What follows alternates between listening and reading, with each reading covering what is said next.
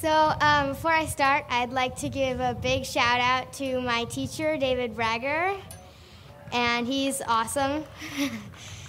and I'm going to be playing a four part uh, traditional ba- solo banjo tune from Kentucky called Tally Ho, and it was first recorded by Blanche Coldiron.